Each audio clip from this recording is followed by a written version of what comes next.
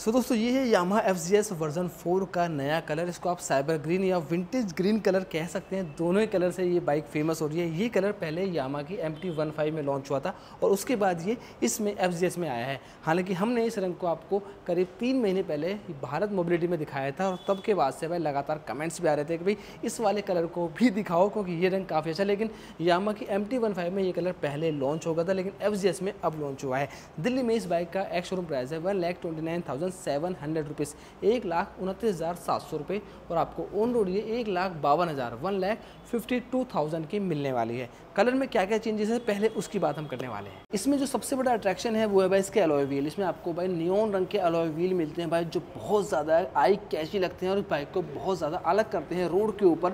और भाई वाकई में जब ये बाइक रोड पर चलेगी ना अमेजिंग लगेगी यार अलॉय व्हील के कलर से इसमें आपको नियोन रंग के अलॉय व्हील मिलते हैं। फ्रंट में आपको हंड्रेड सेक्शन का टायर मिलता है, काफ़ी चौड़ा टायर है। और भाई अलॉय व्हील का कलर काफ़ी ज़बरदस्त लगता है टायर के ऊपर। इसके अलावा इसमें आपको 282 mm की डिस्क ब्रेक का सेटअप मिलने वाला है बाइब्रेक का डिस्क ब्रेक है। और इसमें आपको 41 mm के शॉकर मिल जाते हैं और शॉकर भाई यामा की स्टिकरिंग लिखी हुई है।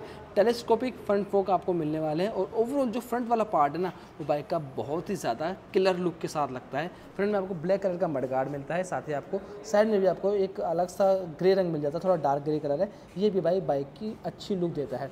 फ्रंट में आप देखेंगे तो आपको हेडलाइट मिल जाती है। ऑल एलईडी लाइटिंग का सेटअप मिलने वाला है और आपको यहाँ पर साइबर ग्रीन या विंटेज ग्रीन का हेडलाइट का जो काउल उसको यहाँ भी यहाँ रंग मिलने वाला है। फ्रंट में आपको इसमें डीआरएल मिल जाती है और एलईडी हेडलाइट मिलने वाले जो इंडिकेटर हैं, वो भी इस बाइक के अंदर आपको एलईडी वाले मिलने वाले हैं, जो कुछ इस तरह के जलते हैं, काफ़ी प्यारे लगते हैं। रंग में आपको विंटेज कलर मिलने वाला है। विंटेज ग्रीन रंग है, काफ़ी प्यारा लगता है। इसमें आपको एफजीएस का लोगो मिल जाता है, जो थ्री लोगो है। साथ में आपको वर्जन फोर की स्टिकरिंग मिलने वाली है और ब्लैक कलर का आपको स्टिकर मिलता है। साथ में आपको न्यून रंग के स्टिकर भी उसमें मिलने वाले हैं। ओवरऑल जो बाइक का टैंक वाला लुक है ना, भाई, काफ़ी ज़्यादा फाड़ लगता है, काफ़ी ज़्यादा प्यारा लगता है।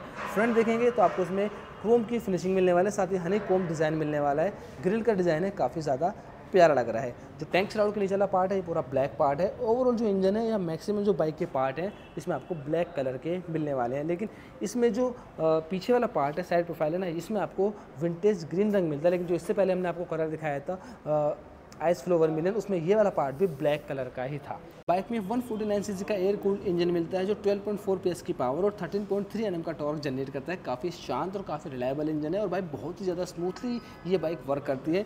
इसकी सबसे बेस्ट बात क्या है? इसका जो माइलेज है ना, इस बाइक की माइलेज काफ़ी ज़्यादा बेटर है यार। बाइक की रियल प्रोफ़ाइल काफ़ी ज़्यादा ज़बरदस्त लगती है। इसमें आपको न्योन रंग का लॉयविल मिलने वाला है, जो भाई आई कैची है साथ ही आपको। इसमें सी का जूम टायर मिलता है और टायर का जो साइज़ है, आपको 140 सेक्शन का काफ़ी वाइड टायर मिलने वाला है। बाइक का हगर गार्ड काफ़ी ज़्यादा बल्कि है काफ़ी अच्छा लुक देता है। अगर बात करें इसके एग्जॉस्ट की तो इसमें आपको एग्जॉस्ट मिलता है और काफ़ी ज़्यादा प्यारा एग्जॉस्ट है इसका भी, ठीक है? एग्जॉस्ट के ऊपर आपको एक प्लास्टिक की शील्ड मिलती है जो आपको हीट प्रोडक्शन भी देने वाली है। बैक साइड है बाइक की, वो काफ़ी ज़बरदस्त है यार, इसमें आपको एम टी वन फाइव वाली बैकलाइट मिलने वाली है, जो काफ़ी अच्छी लगती है देखने में इंडिकेटर वाली मिल जाते हैं और जो बाइक की जो पिछला जो पोर्शन है, काफ़ी शॉर्ट रखा गया है, काफ़ी ज़्यादा प्यारा लगता है। बाइक में आपको सिंगल पीस ग्रेवियल मिल जाता है, जो ब्लैक कलर का है, काफ़ी सही लुक देता है।